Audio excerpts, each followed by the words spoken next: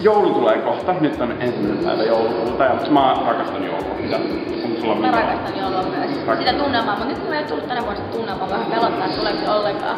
Mutta ehkä se tulee sitten viisi päivää ennen aina. Tai mä aina kuuntelen yleensä joululauluja himasta ja jotain niin kuin fiilistelen joulua, laitan kynttilöitä päälle ja katon jonkun mikkihiiren joulun tai jotain vastaavaa. Niin, Siis tämmöisiä joulutervehdys. niin sit, Thumbs up. luontodokumentit on myös hienoja katsoa. Jouluna. Jouluna mä katon aina. Sä voit tietysti maata himas, terkkarit ja olla hirveän näköisenä, meikit levällään, ei meikit levällään, siis hiukset, hiukset sekat ja ilman meikkiä. Ja sitten tota, syö jotain, jotain laatikkoa ja katsoo luontoa. Se on musta siistiä. Mitään mikä ärsyttää Tai No, mikä on niinku paskinta joulussa? Koska kaikki kertoo, että tää on ihan niinku Kakinta. joulussa. Kakinta. Kato nyt mua korjataan. Kakinta joulussa. Mikä on kakinta joulussa? Pakinta joulussa on ehkä se, että joutuu, tavallaan joutuu miettimään sitä, että ostaako toi mulle lahjan, ostaako mä nyt sille. Ja just se, että, että tavallaan että se on niin pakko se lahjan ostaa. Mun mielestä olisi, olisi että kuka ei osta mulle lahjoja, että mulle ei tarvitse huolehtia sitä tapaa, että mitä mä ostan mulle lahjaksi. Ja voitais vaan elää sovussa. Paitsi yhden lahjan mä kyllä toivon tänä jouluna. Mä oon sanonut jo ystävälleni, parhaalle ystävälleni Saara Sarvakselle, että mä haluaisin, että se tekisi mulle putkea. Putki on niin hyvää. Mm. On, onko Saara niinku semmonen, että tekee ihan mieletöntä? Siis Se tekee, se tekee niinku normiputkea. Mm. Sitten sen lisäksi se tekee äh, turkinpippuriputkea. Sen lisäksi se tekee, tekee minttusuklaaputkea. Ja siis kaikki maut, mitä sä voit, voit kuvitella, niinku niin törkeä jotain, hyvää. jotain maistiaisia? Ja sit mä oon miettinyt, että mitä mä, mitäköhän mä ostan sille vastalahjaksi, mutta se ei oo vielä, se ei kyllä vielä myöntynyt Joku siihen. huova sydän.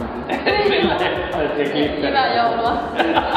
mutta tota, niin se ei oo vielä myöntynyt, se on se, että katsotaan nyt me tehdään. Aha, kyllä se tekee. Kyllä se tekee. Mikä on paskinta joulussa? Paskinta joulussa on noin saatanan biisit, mitkä sä voit kuulla joku kuusi kuukautta jo ennen kuin joulu alkaa, kun sä meet johonkin kauppaan ja sieltä soi niinku kaiken maailman niinku paskimmat musiikit. Miksi joulumusiikki voi olla sellaista tiedätkö, niinku hienoa ja, ja harrasta ja u, niinku kaunista? Mm. Mutta miksi se din din din din din din din sellaista niinku ihan tiedätkö, Kilinää helinää. Kilinää helinää. Mulla on teoria, monta kuulla. No. Siellä kaupassa ne laittaa sitä kilinää helinää, että sulle tulisi semmonen, että mä ostan ihan mitä vaan, että mä ei ihan sama. niin. Ja pois täältä, koska mä en kestä sitä. Mikä ää, paras jouluruoka ja kauhean jouluruoka? Mikä on sun favorite, mitä sä niinku kaipaat vuodesta jotain? Öö, siis ihan vaan siitä joulupöydän niin näistä klassisista vai? No, siis, siis tota, kyllähän mä diikkaan kaikista laatikoista, tykkään skinkuista. Ehkä lanttulaatikolla on lemppari. Se on ihana makea. Niin on, se on makea, mä tykkään siitä. Mä dikkaan Se on mun hyvää.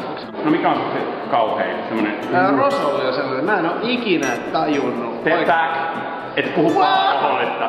Rosolli on maailman herkullisin. Ja vaaleanpunainen kermavaahto. Mut me- siis ei what's the deal? Siis otetaan, hei, otetaan punajuuria ja suolakurkkuja ja pannaan kermavaahtoon. Siinä on myös omenaa ja perunaa. Ehkä mä, Ja porkkanaa. Hei, mä tuun aika möykkää, että missä ihmiset tikkaa räjätellä asioita, kun niitä ottaa päähän. Mä en välttämättä taju kaikkea teekulttuuria. Räjäyttäisit niinku rosolli. Mä räjäyttäisin No rostolle. ihan niin Mä tässä semmosen hienon aikapommin siihen, mikä mä tein itse. Siinä on ajastimet, siinä sitten kaikki. Boom! Voisitko sanoa Pertiaksi jonkun joulutervehdyksen?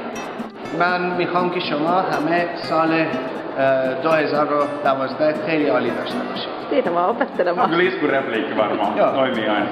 Mitä sä Toivotin sanoit? kai- Toivotin kaikille hyvää vuotta 2012. Sä et niin toivottanut, sä niin jekkuili. Tyyppi niin jekkuili, se ei, me ei voida laittaa tuota, koska se mitä sä sanot. Se oli oikein kaunis uuden vuoden toivotus teille kaikille. Se on ihan Video vai? Tää Mä olin koko video. ajan silleen. Tehdään se koko video tällä. No mikä fiilis sulla nyt on, Erin? Ihan järjettömän hyvä fiilis. Viisi ehdokkuutta. Miltä nyt tuntuu? Tämä olisi niin amerikkalainen tapa Niin niin tehdä haasteita. että Tuodaan näitä haasteita koko ajan esille. Mä ajattelin kysyä tälleen nopeasti, että ää, mikä on paskinta joulussa? Kinkkinen kysymys.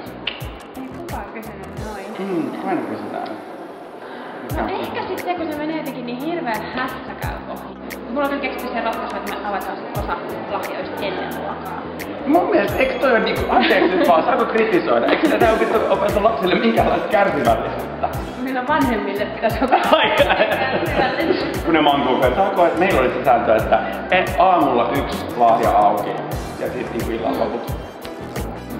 Paras jouluruoka ja paski jouluruoka täällä elokuvassa. Sä oot tosi negatiivinen. Joo, mä, oon siis, mä rakastan joulua yli kaiken, mutta kaikki kysyy sen Mulla on tosi vaikea nyt niinku päättää, että on parhaalla, että on joku imeletty perunalaatikko. Ai.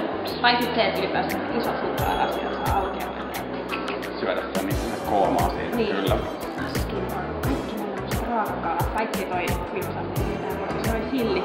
Mä inhoon niitä, ne haisee kauhealle. Mä aina, mä aina siirrän ne, meidän äiti laittaa ne siihen buffapöytään, mä siirrän ne johonkin kauas, että ne ei niin pilas ne joulua. Mulla on kaikki tietää, että mä tykkään niistä painoa odota vaan. Niin, että syöt niitä. Sillit ei ruoka. Oh, mua, sä oot ihana. Mitäkin? No.